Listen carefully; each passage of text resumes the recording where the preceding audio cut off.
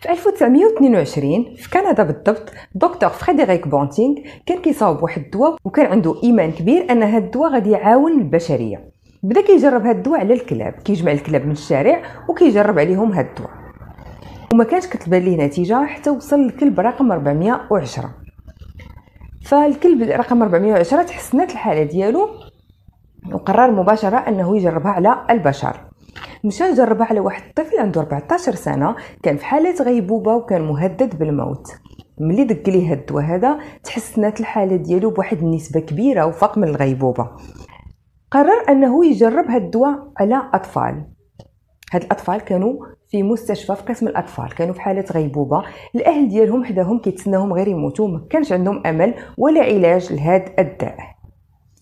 مشى لهاد الغرفة هادي وبدا كيدق هاد الدواء لواحد بواحد. والمفاجأة كانت أنه ملي ضرب الآخر طفل في هذه الغرفة فاق أول طفل من الغيبوبه وبداو كيفيقوا تدريجيا واحد مور واحد. كان هذا الدكتور هو مخترع ومكتشف دواء الإنسولين الدواء اللي عاون البشرية وأنقذ الناس اللي كيعانيوا من داء السكري. والطفل اللي كان عنده 14 سنة وكان مهدد بالموت عاش حتى ل 70 سنة من بعد ما عطاه دكتور فريدريك هاد الدواء قبل من 1922 الناس اللي كانوا كيتصابوا بداء السكري كان عندهم الحل الوحيد هو أنهم كيتبعوا واحد الحمية قاسية. يعني ما كيتعداوش 500 سعرة حرارية في اليوم آه، في حين أن الإنسان كيحتاج حتى ل 2000 سعرة حرارية. كيجيوهم أمراض سوء التغذية وكيضعفوا بزاف فما كانش عندهم شي حل. وكانوا كيموتوا دغيا. فالدكتور فريدريك هو اللي كان عنده الفضل على هاد الناس كاملين هو اللي عاون هاد الناس كاملين باش يعيشوا بشكل طبيعي. الفيديو اليوم غنتعرفوا فيه على داء السكري وعلى العلاقة ديال داء السكري بالحجامة.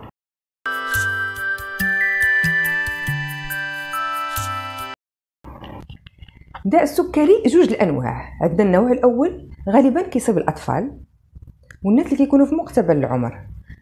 ما كيكونوش عليه أعراض إلا أنهم كيجيهم واحد النوبات متكررة ديال السكر كيطلعوا كيهبط بواحد الشكل متكرر وحاد. هاد الناس كيكون عندهم المناعة ديالهم كتمشي كتحارب لينا وكتدمر لينا الخلايا ديال البنكرياس اللي كتنتج لينا الإنسولين. فكيحتاجوا أنهم يدكوا الإنسولين مدى الحياة. النوع الثاني من داء السكري كيصير الناس البالغين وحتى الأطفال اللي عندهم واحد السمنة مفرطة. النوبات ديال ارتفاع أو انخفاض السكري كتكون بواحد الشكل نادر ما كتجيش بزاف كتكون قليل أنهم صابهم هذه الحالة هذه هذا النوع هذا إلا كان التشخيص ديالو مبكر قدرنا نعرفوا الحالة ديالو بكري كنقدروا نسيطروا عليه بالرياضة والريجيم. النوع الثاني ما كتكونش فيه المناعة كتدمر الخلايا ديال البنكريا اللي كتنتج الانسولين. ولكن كتكون فيه البنكريا غير قادرة على إفراز الكمية الكافية من الانسولين. أو كتكون الخلايا ما كتستجبش لهرمون الانسولين بالشكل الكافي فما فكتمتص كمية قليلة من السكر. الطعام ديالنا مكون من ثلاثة ديال المواد مغذية أساسية واللي هي النشويات البروتينات والدهنيات. خلال عملية الهضم كتقوم المعدة ديالنا بتحليل هاد النشويات وكتحولها لجلوكوز. فكتمتص في الدم.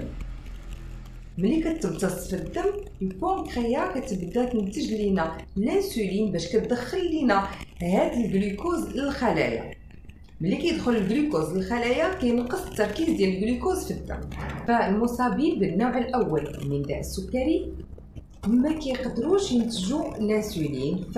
فالجلوكوز كيبقى متواجد في الدم ما كيدخلش للخلايا فكيبقى يرتفع التركيز ديالو وكيتراكم في الدم كيؤدي إلى مضاعفات وأمراض خطيرة. بدون الانسولين ما يقدرش الجلوكوز يدخل للخلايا. أما بالنسبة للمصابين من النوع الثاني فالبونكريا عندهم كتنتج لنا كمية من الانسولين أقل من الكمية اللي كيحتاجها الجسم لتحليل الجلوكوز. فالجسم كيبقاش يستجيب للانسولين.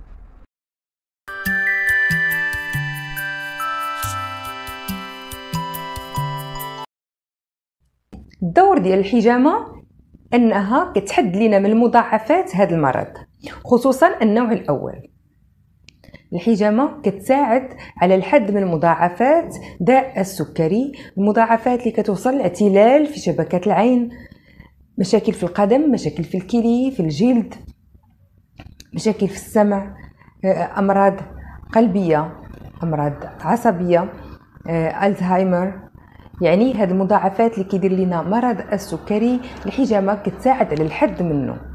لأنها كتنشط لنا الدورة الدموية كتحيد لنا السموم والخلايا المتراكمة في الدم فكتسهل تدفق الدم داخل العروق والشرايين بالنسبة للنوع الثاني فالحجامه كتحفز لنا البنكرياس على إنتاج الكمية اللازمة من الإنسولين. فالحجامة كتنشط لنا الدورة الدموية وكتحفز لينا ال pancréas وبالتالي كتزيد النشاط ديال ال pancréas وكتحفزها باش تنتج لينا كمية مهمة وكمية لازمة من الانسولين. من بين الأعراض الخطيرة والشائعة اللي كتصيب مرضى السكري هي القدم السكري اللي كيجي نتيجة تلف الأعصاب وصعوبة في تدفق الدم إلى القدمين. هذه المشاكل هذا كتوصل حتى لتقرحات وجروح مفتوحة. هذه المشاكل عندها علاج بالحجامة. إذا مشيتو عند مختصين اللي يقدروا يعالجوا هذه الحالة وخصوصا اللي كانت في مرحلة مبكرة. هناك طرق جديدة كتساعد على علاج هذه التقرحات. دائما كنصحكم باش تمشيو عند المختصين باش ما يوقعش مضاعفات ويستعملوا التقنيات الجديدة والحديثة لعلاج هذه المشاكل هذه الحجامة كتساعد على تعزيز الجهاز المناعي وكتقلل لنا من استهداف الأجسام المضادة لخلايا بيتا البنكرياسية فمباشرة كتزيدنا من إفراز الإنسولين. أيضا كتزيدنا من إفراز اكسيد النيتريك اللي كيحسن لنا من حالة انسجه الجسم وكتزيد الاستجابة ديالها للإنسولين. الحجامة كتنشط لنا الدورة الدموية كتساعد على إخراج خلايا الدم الهرمة والرواسب الشيء اللي كيساعد في تخفيض نسبة الكوليسترول والدهون المصاحبة لمرض السكري. الحجامة كتساعد في التخفيف من أثر الشوارد الحرة على خلايا البيضاء وكتقلل من الأضرار اللي ممكن توقع للأوعية الدموية والأعصاب الطرفية. بالنسبة لمرض السكري اللي ما كيعتمدش على الإنسولين فالحجامة كتساعد على تنشيط البنكرياس وكتزيد من إفراز الإنسولين اللي كيحتاجه الجسم ديالنا. عملية التشريط السطحية للشعيرات الدموية خلال الحجامة. كتساعد على زيادة التمثيل الغذائي بالكبد فكتقلل نسبة ديال السكر. والشفط الصحيح كيساعد على إراحة العضلات وإخراج الأحماض. كيساعد الأنسولين بالارتباط بالمستقبلات ديالها فكتنقص لنا نسبة ديال السكر في الدم. عمل الحجامة كيساعد على تحسين عمل الغدد وعلى تنشيط واستثارة الجهاز العصبي. السمباثاوي والباراسمباثاوي système nerveux sympathique و parasympathique فبالتالي كتحسن لنا السيالة العصبية وكتنشط لنا الأعضاء الداخلية منها البنكرياس الشيء اللي كينعكس ايجابا على نسبة السكر في الدم. كنصحكم دائما باش تمشيو عند المختصين في الحجامة باش يقدروا يضبطوا لكم عدد الشرطات العمق ديال الشرطة والطول ديالها. ويلتزموا دائما بالتعقيم المتكرر خصوصا لمرضى داء السكري. كنتمنى أنكم تكونوا استفدتوا من هذا الفيديو.